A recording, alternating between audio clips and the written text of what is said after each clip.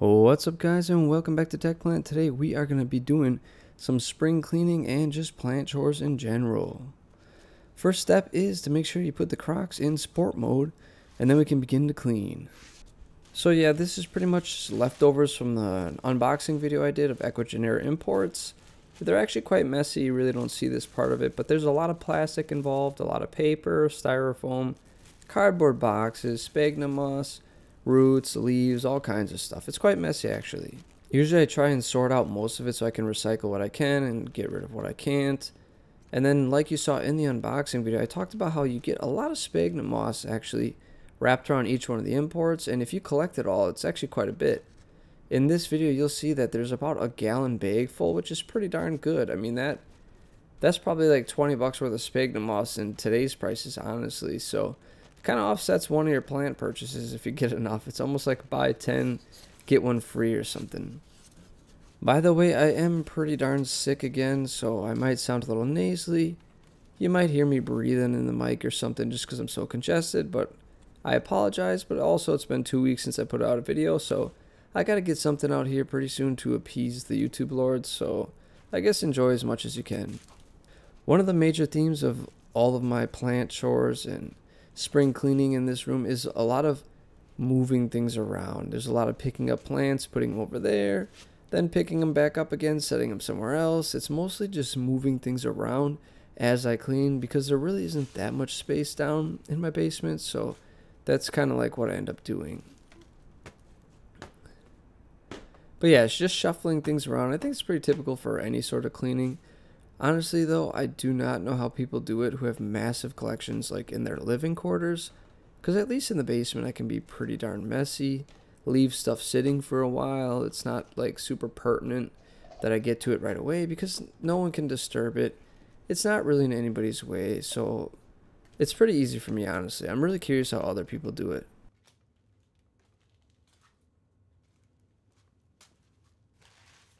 I know a lot of people ask me if I have plants up in my like regular house, but really I don't have very many, just a few. Maybe I would have some more if my house was designed a little differently, but I don't have any great windows for plants. And I do have a young, like two year old son, so it's kind of hard to have that stuff. At this point, I have most of the Ecuagenera stuff cleared away and moved a lot of the plants out of the way and I'm just picking up some additional trash. I got a lot of like one gallon or I get yeah, I guess gallon water things from distilled water that I buy. Most of it's for carnivorous plants and maybe every few months they just kind of build up randomly and I throw them out. Another theme that you'll notice in a lot of my plant chores or cleanups is a lot of sweeping. Um, with plants, I mean, most of you already know that a lot of dirt, a lot of dead leaves. Honestly, I kick over a pot at least like twice a week. Sometimes the same pot over and over again. You would think I'd learn my lesson, but I don't. But there's always something to sweep. Right now we're in like the plant experiment corridor between these two shelves. Um, I have some plants on the ground, but the shelves actually contain most of the experiments that you see in the video, most of the comparisons, or really just anything I'm growing for the videos. Usually a few times every year, maybe four times a year, I like to prune everything a little bit, cut some of the dead stuff off, clear it up, do some deadheading with anything that flowers, just stuff like that, just to make it look nice again. I don't really cut stuff that has like burnt edges, mostly just actually dead stuff. You can see it made quite a difference with that plant. But again, once you do that, it's just more sweeping, sweeping, sweeping, sweeping. That's another thing that I'll end up doing a lot of is just sweeping the same spot over and over because I keep making a mess over and over. And that's just kind of how it is down here.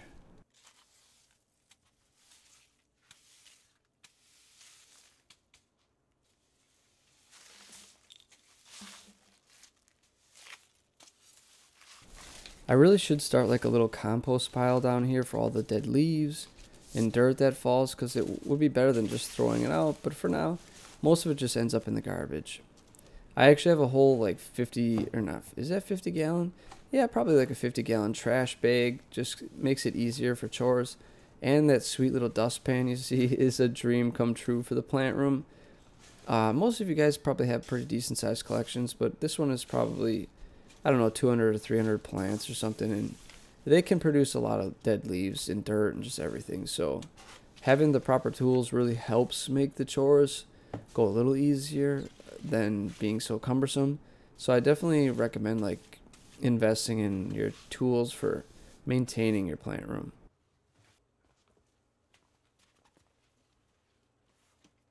This corner is pretty much done for now. It's going to get messy again later, but like I said, one step at a time, especially with the way this plant room is, you just kind of keep moving things around and slowly clean up as you do circles.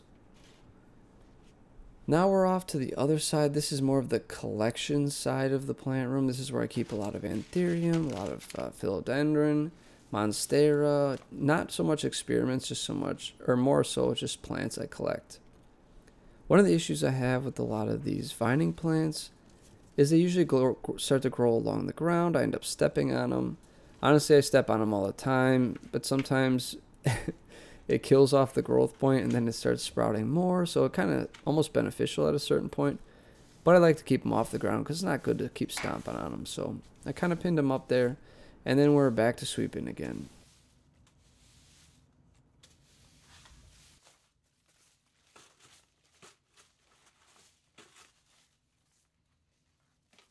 If you hoard plants, you're probably a hoarder of many other things just like me, so I got a lot of bins here to try and organize it.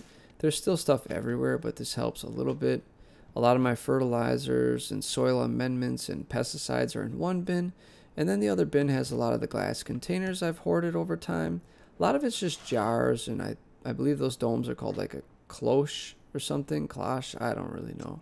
But I keep a lot of the glass stuff and plastic stuff in one container but there's stuff floating around all over the plant room and like the filming area. I mean, I got it everywhere, but I try to consolidate it a little bit at least.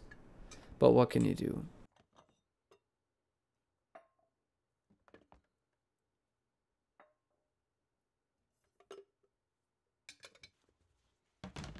Again, once I got that cleaned out, there's a lot of sweeping. I found a 3D printed moss pole prototype that I was working on that's been under there for, I don't know, maybe three, four months. Really got to put that to the test along with some of the other stuff I've designed. Lately, it's just been so busy with my kid, wife, and just family stuff. I have not had the time to really like dedicate to the 3D printing stuff. I got a lot of cool stuff. I've promised it a million times, but I just have not found the time to like really properly release and be able to like support it if I were to start selling. So Maybe in the future. But yeah, there's some more additional jars. I love spaghetti and pickle jars. They seem to do the best. My giant pothos that you just saw is absolutely going crazy. I love that plant. There'll be some more dedicated videos to that in the future. But like I said earlier, the plant room cleanup is a lot of just moving things back and forth just to make room to sweep and then you basically put it back where you found it. But yeah, I mean, that's just a going trend or reoccurring theme in this video, that's for sure.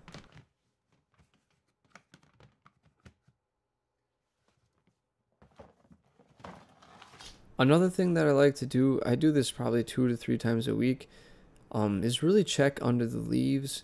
The best like pest prevention, honestly, is it's not pesticide, it's not those beneficial insects. It's just like being like visually um, I don't even know what to call it. Just looking. I mean, just actually looking for pests a lot. And often will save you a lot more headaches than anything else. Because if you can catch it soon, you can, most of the time, just rub them off the leaves. And that's pretty much it. I mean, you can manually remove a lot of pests if you catch them early enough.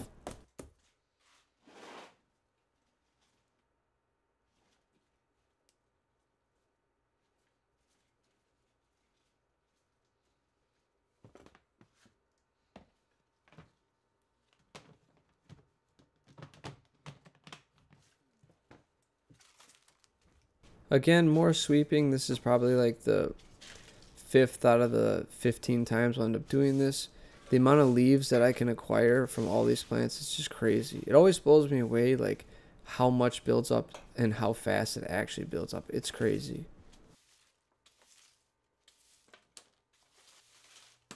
I tried feeding some of these to my isopods. I haven't talked about them in a while. It seemed like like maple leaves honestly work better than a lot of this tropical stuff. They really were hesitant to eat some of it, and so maybe it's not very compatible for them. I'm not really sure, but I've been trying to find ways to recycle it. But yeah, I mean, next up is to address this mess.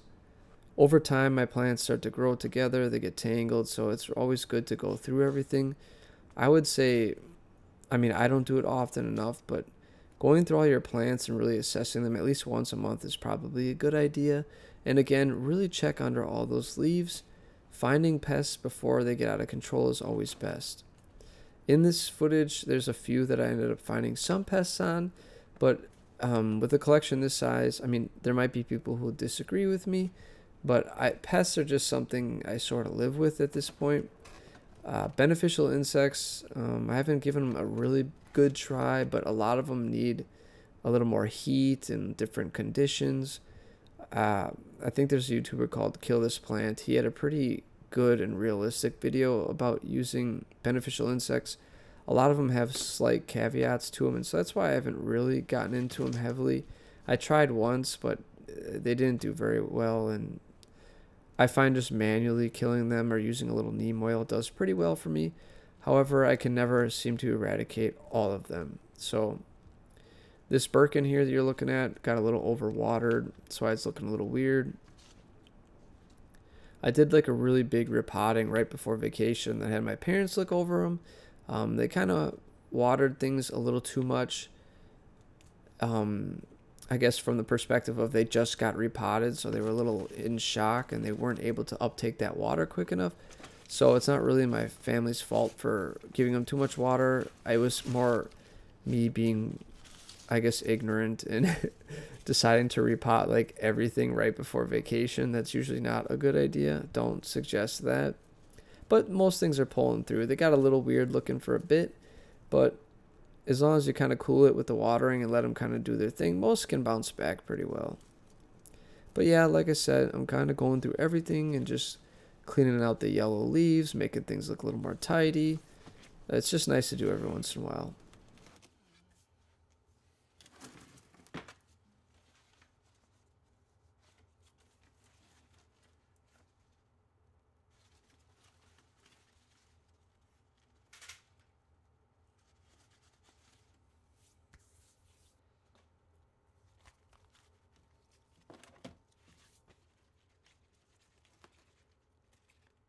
A lot of these plants could probably be like cut up, propagated, or honestly, some could be repotted again or put up poles. But it's one of those things I don't have quite the amount of time to get that going either. So mostly I'm just sort of rearranging them to give them the best chance at light, if that makes any sense. So a lot of these have been so bunched together that they are covering each other, and that's well, that's part of the problem with just having a lot of plants. But I'm trying to balance like the way they sit on the shelf at this point and just clean them up and organize them a little better. Again, you'll notice on almost all of them, I'm looking for pests. Some of them I know have had like spider mites or mealybugs, so I kind of know what to look for right away. But yeah, it's really, really important to be checking for that kind of stuff.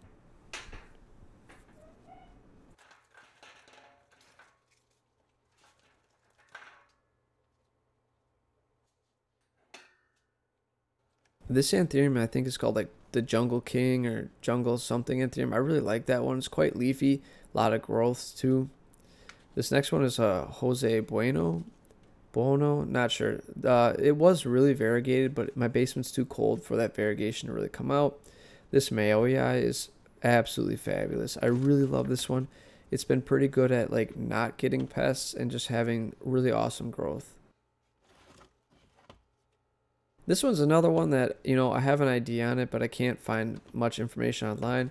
It's some kind of philodendron, and I, it's, it's a cutting that I just stuck right in soil without like propagating, and it's been like this for about a month and a half, but I think it's finally starting to bounce back. So I'm excited for that one. I got quite a good variety at this point too.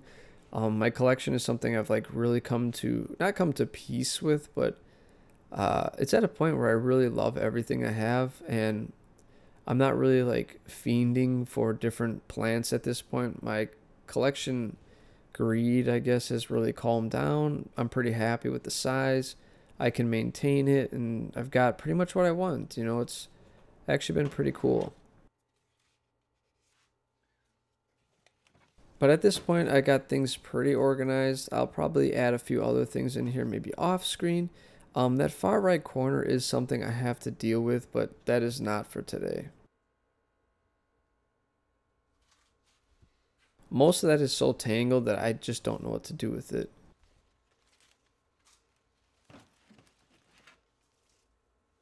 You can see even though I already swept that, we already have to sweep it again just because I peeled a bunch of leaves. At this point, I'm trying to add some more LED lighting. These are all Barrina lights, by the way. I'm not shilling them. They're a decent product. I don't get paid by them. They've never sent me anything. So it's not like I I don't know. You can trust me, guys, or something. But uh, the top shelf has only had one set of lights that just hasn't been doing it. So you can see adding this new one has made quite a difference. I already added these to the lower shelves, but it's been like in need in the upper shelf. However, every time I have time to do it, it's like bedtime for the baby, and he's like he's directly above that floor, basically when he sleeps. So it's pretty hard to drill into the ceiling and during the day, I never get time. But today, or at least when I filmed this, my parents were watching my son, so it was easy to get it done. And it makes a huge difference. A lot of light up there now, and it bleeds off to the left for some of the plants on the floor. So uh, lighting is always a great addition. Like I said earlier, a lot of this is just moving some plants around. So again, I got to clear this area out so I can clean it. And then basically all these plants are going to get put back in pretty much the same spot, just a little cleaner and with some additional things. But yeah, a lot of it, a lot of plant chores is moving things around and sweeping and then moving them back. It's kind of funny.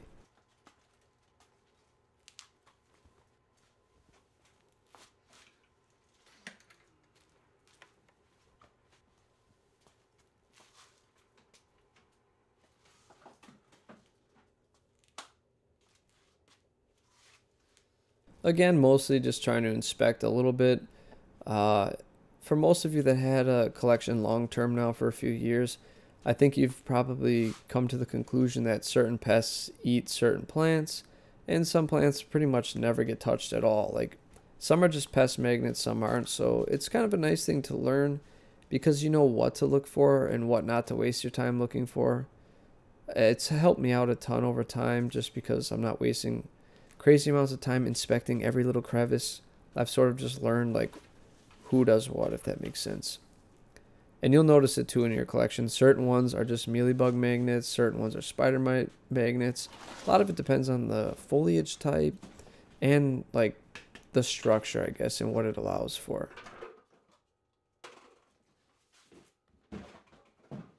Again, we are back at it with the sweeping. It's just a never ending thing in this plant room another I guess not interesting thing, but I don't know if you can see in the back corner, but it's kind of green.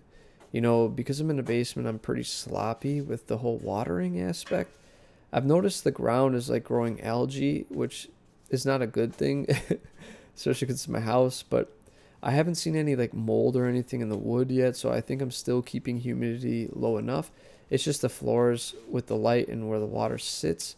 There's some algae growth, which is a little concerning, but I I don't know. I'll have to like rebuild the plant room and like seal it in plastic or something. But for now, I'm just gonna monitor that and make sure it doesn't become worse and I get like some black mold problem or I don't know something I definitely don't want.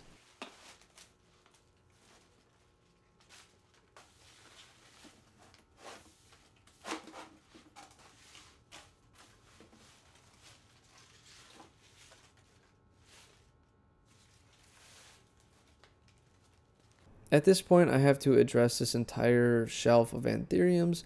I want to get them all off, really take a look at all of them, see how they're doing, and then put them back up there in a way that I can water them a little easier. They're sort not categorized, but just in a more organized fashion because at the moment for the last like five six months as i'm adding anthuriums to my collection i'm just shoving them in any like empty space so Again, first things first, we got to grab everything and move everything. And while I'm doing that, I'm checking them as well. I'm kind of skipping through that to make it a little quick, but I'm checking everything for pests as I move it. This Nepenthes got actually quite tangled in here, so I just had to clip it out of there. But yeah, this has been a plant I've owned for a very long time. I've almost killed it many times. Uh, a little tip on Nepenthes, don't ever give up on them, even if they start drying up and they look bad. I've pretty much killed it, but then like a new baby growth came out towards the base and it's growing very well. And that's happened a few times. So never give up on your plants and always keep trying. Something I don't talk about super often is like the construction of the plant room, so to speak. These little trays are actually all IKEA like boot trays. They work really well on 30 inch like deep uh, shelving and that's how deep all mine are. They fit perfectly. I love them. They're pretty sturdy. They're not too deep, and I they've just worked so perfect for the plant room. So I definitely consider those because they're a lot more sturdy than like seed starting trays, and they're cheap enough where they're not like really expensive thick rubber boot trays. So if you're ever trying to figure out what to put on your shelves, measure them out and see if they fit well.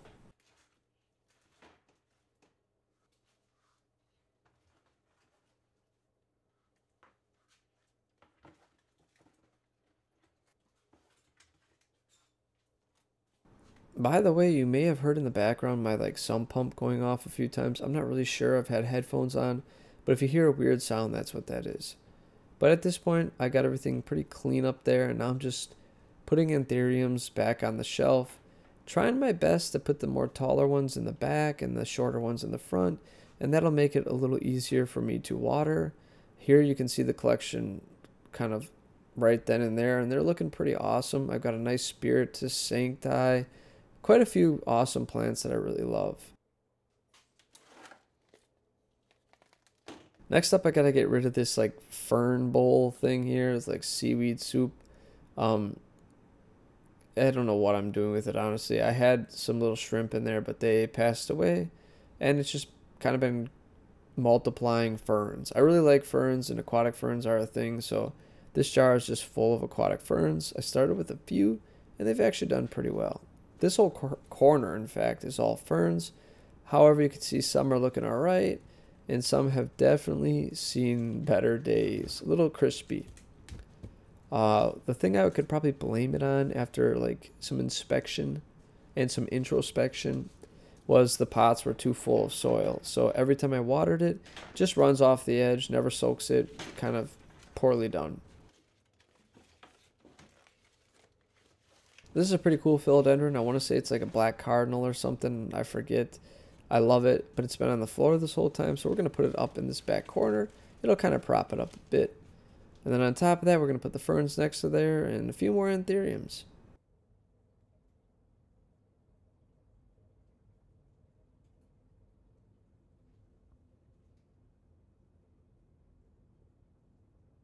This bottom shelf has always kind of been a mess. It's like where all the seedlings are, so we're just going to dump out all the pots where the seedlings didn't make it. There's quite a few that don't make it. It's either from vacations or just, I don't know what. There's all kinds of reasons that some of these didn't survive, but the ones that did are much hardier and I guess better off. Uh, I guess when you start a lot of seedlings, this is maybe a thing that happens, but I know other people are more successful, but growing in a basement, honestly, it's not the easiest. The climate's just not that great for plants. It's quite cool, and I can't get the humidity too high without possibly damaging the house. So I don't know. I always feel bad losing some seedlings, but I'm only human. What can I do, you know?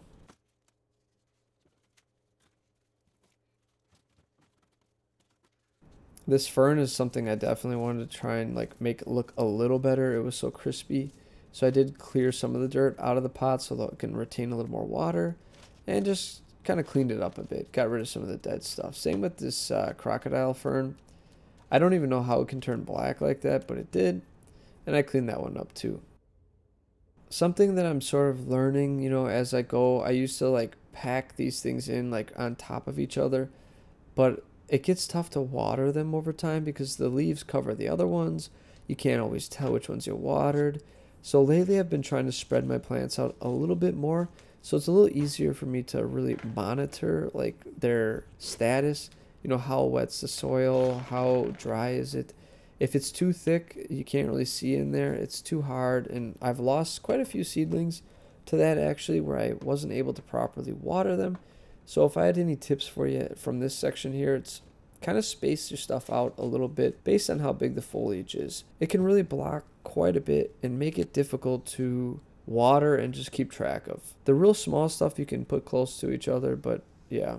Well, that's pretty much it for this. There might be a part two. There's still so much more work to do, but you can only make a video so long about cleaning stuff up. So I hope you guys like this. And as always, may your plants grow strong and healthy. I'll see you next time.